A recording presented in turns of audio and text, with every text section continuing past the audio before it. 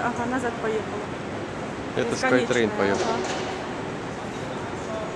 Поехал Skytrain. Подвесная железная дорога такая.